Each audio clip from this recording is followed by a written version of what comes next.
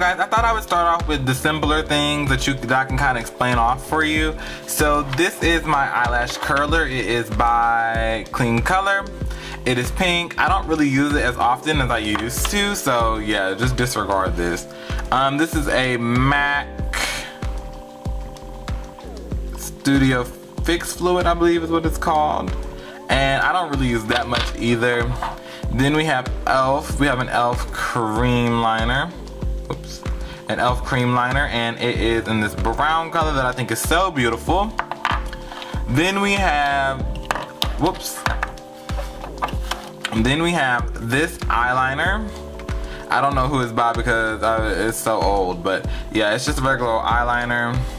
And then we're gonna move on to mascaras, and all these are mascaras. Um, again, I don't know who this is. Oh wait, this is by Maybelline. This is by Maybelline. This is their Brow Drama.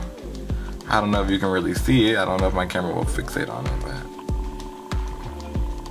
yeah, this is the Maybelline Brow Drama. And this is a the this is the CoverGirl, I believe, Lash Blast. Yeah, this is their flamed out.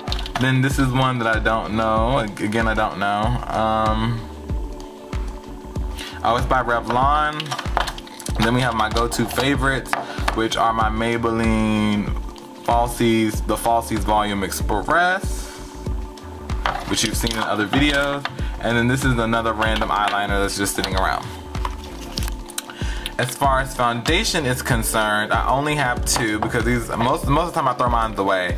But this one I'm no longer using. I just finished the whole bottle. It is the Maybelline Fit Me Matte and Poreless, but I have replaced it with the Dewy and Smooth one just because I like to change it up. I feel like I've been wearing matte makeup for a very long time and I don't really like how it looks just because that very dry thing is not really good for covering up acne or things of that nature. So I'm just gonna go with Dewy and Smooth for a while. Moving along, this is the only highlighter that I currently use, and this is my e.l.f. Golden Bronzer. If you want to see what it looks like on the inside, I can show you. This is what it looks like on the inside. It's a bit ratchet right now. but yeah, I pretty much love this, these two top ones. Not the pink and the brown, but the ones that you can see that are kind of used up. Yeah, I've used them a lot, but it's a pretty good bronzer. I mean, it could be a lot better, but for its price, which was like a dollar, it's pretty good. Then this is the NYX Illuminator. I have yet to really use it but this is what it looks like. It is this pretty shimmery color, which you know, I think I could use that as my highlighter, so yeah. Then um, I will show you guys my powders. This is my Fit Me Maybelline setting powder um, in Coconut 335. But I think that this one is actually for, um, this is actually for the, the dewy one and not the matte one, but whatever. I also have the same thing in I have the same setting setting um, powder. Well, no, this is the foundation one in matte and poreless. It is 33 third it's 3 330 Toffee, which is a powder, and honestly, I just use it as a highlight. I just use it to like as a concealer for my brows, if we're gonna be honest. And this is my setting powder by Zuri that I use when I am um, doing when I'm actually baking and it is a translucent powder, which I prefer when it comes to that. It does a pretty okay job. Then over here we have my brushes and my e.l.f. Well, we have my Beauty Blender, my e.l.f. Um, sharpener, then I have a brush right here that I use mainly for just a good contour. And then we have all my makeup brushes and my brow pencils. Anything that does with deals with the brows, um, eyeliner, like pencil eyeliners, anything that's in a pencil form pretty much goes in here along with my brushes.